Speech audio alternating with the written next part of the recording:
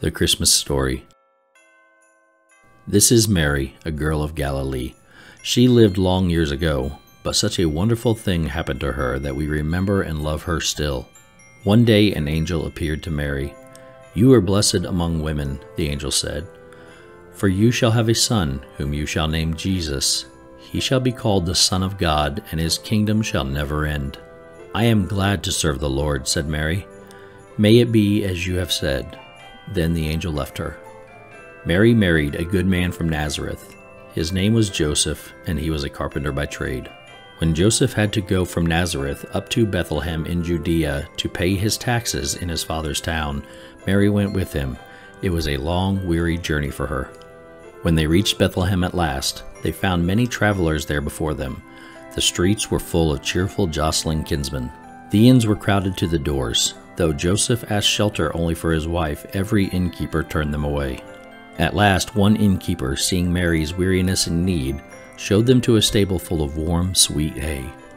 There, Mary brought forth her son, and she wrapped him in swaddling clothes and laid him in the manger, since there was no room for them in the inn.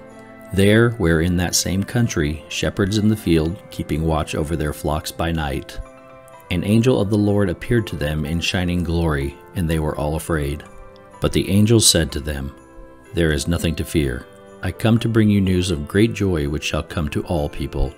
For a child is born this day in Bethlehem, a Savior who is Christ the Lord. And this shall be a sign to you. You shall find the babe wrapped in swaddling clothes and lying in a manger. Suddenly the sky was full of angels, praising God and saying, Glory to God in the highest, and on earth peace, goodwill toward men. When the angels disappeared into heaven, the shepherds said to one another, Let us go to Bethlehem and see this thing which the Lord has made known to us. They hurried to the town and found Mary and Joseph and the babe lying in the manger. Afterwards, the shepherds told everyone they met about the child. Now, when Jesus was still a baby, three wise men from the east came to Jerusalem. Where is he that is born King of the Jews? They asked. For we have seen his star in the east, and are come to worship him. When Herod the king heard this, he was troubled in his wicked heart. He called the wise men to him and asked them just when the star had appeared.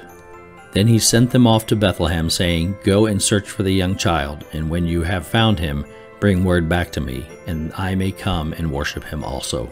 When they had heard the king, the wise men departed.